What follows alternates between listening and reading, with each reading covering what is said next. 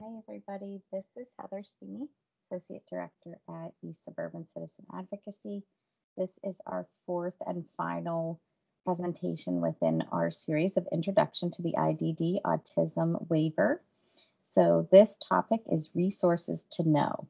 So what we are trying to look at here is if you're new to waiver, um, and even if you've been in waiver for a while, but you feel like you may not know a lot of things about it, uh, some people get rushed into the system and they don't really get to learn what all is there. We wanted to provide some really helpful resources so that you can reach out and find things or know where to look. So this first resource is the regulations, the 6100s. These are the newest regulations that were just redone and they are still rolling out some of the changes. Um, they're taking steps to make sure that they train and make sure everybody understands the regulations before they make them effective. So some of these are in play and some of them are still being rolled out at this time. Um, I do have the link for you. And why I think this is an important resource for families and individuals is because it's written in a way that yes, it is hard to understand sometimes. If you read through the full document, it's an interpretation a little bit, but you see a path and it's hard to describe, but once you read through it, you'll know what I mean. Um, why it's an important resource is because if you want to get to the root of a rule or someone saying you can't because of waiver regulations, then you can look up for yourself um, the resource and find the core of that rule. Now, I will say that there are memos and communications, bulletins that supplement the regulations. This helps explain those interpretations or gives you more detail as to what is expected with those regulations. So to stay up to date on those things, you also can join the ODP listserv. Um, just be warned that there are a lot of emails that come out and a lot may not um, correspond with a service that you're interested in. So if your loved one or um, if it's you that receives the waiver, you may not be in a residential program, but you might get reg- residential waiver uh, memos as well. So you have to sort through those. But if you go to the website listed there, you can copy and paste it. And there's a button right there that says join listserv that you'll see. You just put in an email address and they'll send those to you it's a good resource to have, not to memorize, not to learn. Um, you don't have to be an expert at it. But if somebody says something about um, a certain area that you're interested in, you can go and look it up. So I think it's very important for you to have the knowledge of where it's at. The next one is the ISP manual. Again, not a resource that you want to have memorized, but very helpful for a couple reasons. So the ISP manual changes almost yearly, usually around February. The version that is most current as of this presentation is February of 2020. And right now we are recording in April of 2021. Um, this is the link where you can find the current one, but you also can just search in your internet browser ODP ISP manual and then check dates when you open the, the document. So the ISP manual explains a lot of the processes that your support coordinator follows. This could be things like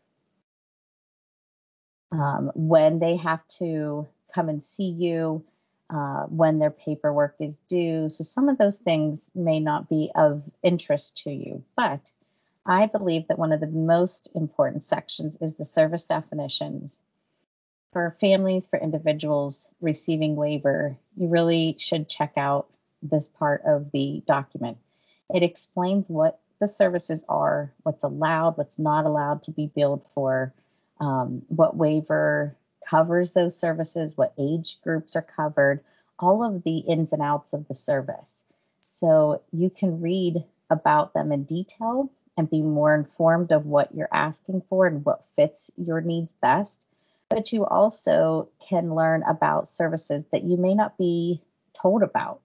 Typically, support coordinators understand what you're looking for and they suggest services. But this way, you could look through services and maybe find out that some things fit an area that you didn't really consider an issue, but you might be able to get help with. It's a great resource to have.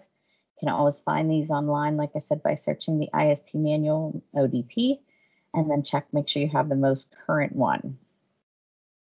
The provider profiles on ODP um, are helpful. They are a newer resource, um, came out within the last couple years. The link is at the top here.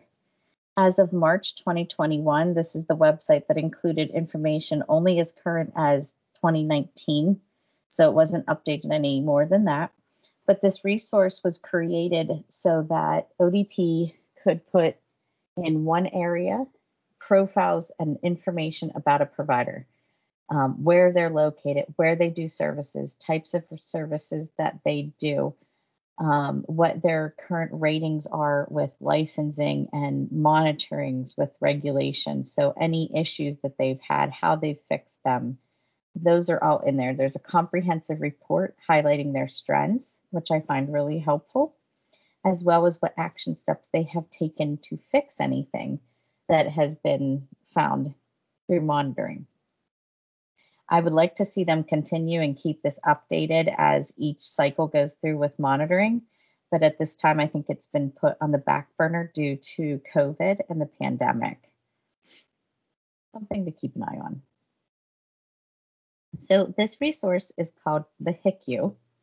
HCQU, you'll see a lot of times. It's the Healthcare Quality Unit. And in Southwestern PA, um, Kepro is the company that provides this service. You can find them at the link um, on the screen, um, www.hcqu.kepro.com. Basically, they offer physical and behavioral health related information that reflects current and accepted standards of care, evidence based practices, um, effective care strategies, attuned to special, detailed needs of people with ID or autism. This information is delivered in the form of trainings, technical assistance. Um, they come out with resources and they'll send you materials. They also have a tool that is called the Health Risk Screening Tool, where they can look through the screening, ask a lot of questions about health um, and safety, medical conditions, and may see some things that we can do to prevent any further risks um, that are out there for health and safety. This is a process that is actually required when somebody is in a residential site. The residential has to complete the health screening tool um, every so often. I forget, I think it's every year, but do not quote me on that. Um, but they do have to keep those completed and address all concerns. Um, the HICU is a very helpful unit to call out when you feel like there's a variety of medical conditions going on, or a lot of medicines, or maybe the mixes might be causing issues, um, or even if it's just knowledge on a newly diagnosed, you know, disorder. Their website is helpful if you can't get them out or you don't want them to come out in, in person or currently on on virtual uh, meetings. But you can look on their website for information on many medical conditions, as well as trainings on a lot of topics as well. The Rehabilitation and Community Provider Association is the RCPA. This is a very helpful website when you're looking to stay current with the laws um, that affect our IDD autism community, as well as changes with ODP, our state office.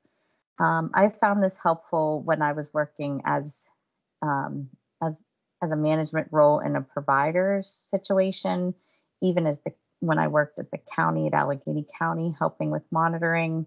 And it's very helpful now to stay up to date as an advocate on what's going on with both of these areas. Um, it discusses policy changes. If you go to the link, it shows you only those areas that are affecting policies with intellectual disabilities or autism. Now, if you look through the rest of their site, it does go into areas of um, mental health and different things. There is a paid portion you can get into, but I have been able to utilize the free version of just this policy section um, pretty often throughout the last several years. So another resource you can look at to kind of keep up to date. One of the newer resources, but maybe not newer, maybe more updated resources that we have is our intensive behavioral health services. This is IBHS, formerly referred to as like wraparound, or you may have heard it as BHRS. So the new BH, I'm sorry, IBHS can help you understand what's needed to begin services for your child. So they've changed the process a little bit where now you can get a script for um, kind of like you do with physical therapy, get a script from your doctor to go get physical therapy. You go there, they do an assessment. They say you'll need six weeks of, you know, um, physical therapy three times a week, and then we step down. So the doctor really just gives you a script to go get physical therapy. Um, the physical therapist is the one that prescribes how much treatment. This is the same for this unit.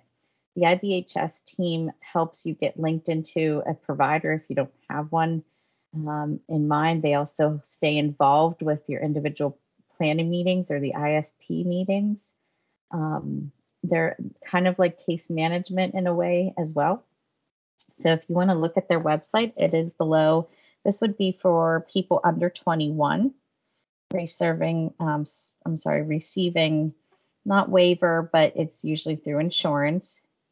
So again, for the younger population, this is helpful for services with behaviors or in-home and community assistance from staff. Sticking with those who are a little bit younger, our local task force through the Westmoreland Intermediate Unit number seven, um, they are a, a committee of active parents, community members, educators, um, people in the system with the school system that come together to ensure that all of our children with disabilities in Westmoreland County are receiving supports and services that they should um, in the least restrictive environment. So these meetings take place um, currently virtually, but they used to meet. So you can keep up to date with them. They have a Facebook um, page as well as an email listed here. I also have their phone number, but they would welcome all parents that are looking to be involved. There's usually a speaker about a topic current, um, maybe some kind of a new event, legislation changing, or other concerns that seem to be popping up right now with the pandemic. I know there's a lot of concern with the school age children, um, especially with the ones with disabilities. So we are looking to really utilize this resource, have input from all different angles, and come together to kind of work with the schools and parents to figure out how we can help our children the best. So if you have interest in joining, please check out any of the resources below there, get a hold of them. They are great meetings, very informational. And like I said, you can feel like you're part of, you know, um, fixing something, part of a solution. And we also have our Westmoreland Transitional Council. Now, they are a group that works with people. Um, their focus, their target audience here is those who are graduating and transitioning into adult life. So they're a network of, again, parents, educators, community service providers that are looking to help them transition into adulthood, into a new life without school. And what do they do? Um, what are you going to do with with your days? What are you going to do for eh, you know if they want to work? Um, different things like that.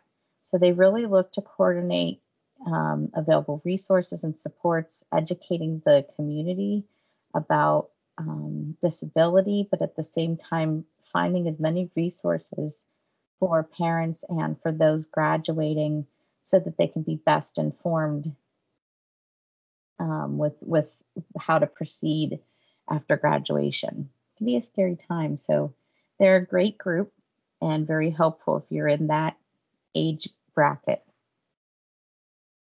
Um, Blackburn Center is a service in our community. I thought I'd look into some of the other areas you might run into. and they've been around since 1976. They provide services for victims of domestic and sexual violence, as well as other types of violence and crime in our county of Westmoreland. Um, they look at educating as the community. They do trainings, they do events, fundraisers. So everything is free. Um, it's confidential. If you have a report, you can totally be anonymous. Um, they do have a 24 hour hotline for any emergencies. You can speak to a counselor anytime. The hotline is the 888 number, and you can reach them locally at the 724 number. Speak with a counselor. Um, like I said, everything is free, confidential, and anonymous if you choose for it to be. And they do serve Westmoreland County as a whole, and the website's at the bottom as well at blackburncenter.org. They're a great group um, if you unfortunately ever have to deal with something like this, um, they are somebody that I definitely would call for resources, support, and help. And last, I have um, East Suburban Citizen Advocacy. That is us. We are a uh, 501c3 nonprofit organization, and we have been around since 1988. We like to um, focus our time on enhancing the lives of those with developmental disabilities, um, supporting our individuals in finding advocates in the community or close to them that are already in their lives um, so that they have somebody kind of walking through different processes of life, different stages of life with them to make sure that things, you know, are going the way they should, that their rights are are being followed and um, you know, they get all of the help that they need as well. We focus on serving unique needs of everybody. We spend time with you, figure out where you're at and what kind of things might help you, link you to community resources um, or groups of people that can help you. And um, advocates are definitely representing the best interests of the person with the disability. Uh, we have a lot of energy. We really are there to make your life better and make sure that, like I said, you are getting treated just as everybody else should be treated.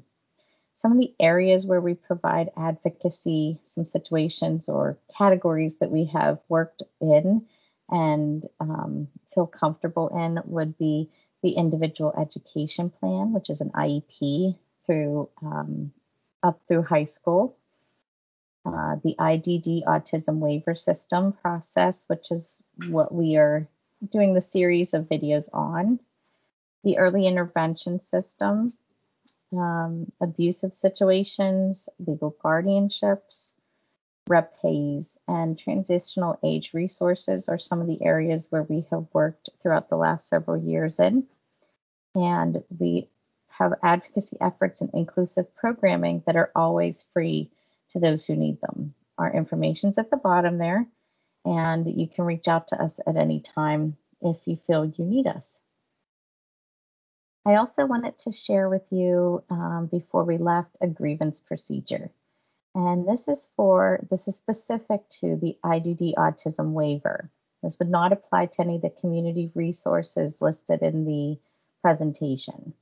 So if you are unhappy with a service that you are getting through our IDD autism waiver, feel like you're not being treated fairly or you don't like how it's um, being provided, you, even if you feel like your rights are being violated, um, definitely talk to your provider first, speak to management, let them know what you're dealing with, what your concerns are. If they do not resolve the issue um, that's being discussed, you can ask for a formal grievance procedure. And what this form does is it is a formal, recorded, documented place where it the the com um, I'm sorry the complaint is being documented. So instead of just a discussion and saying, "Hey, I have this problem. Can you help me?" You're formally saying, I don't agree with the way this is done and I need you to help me.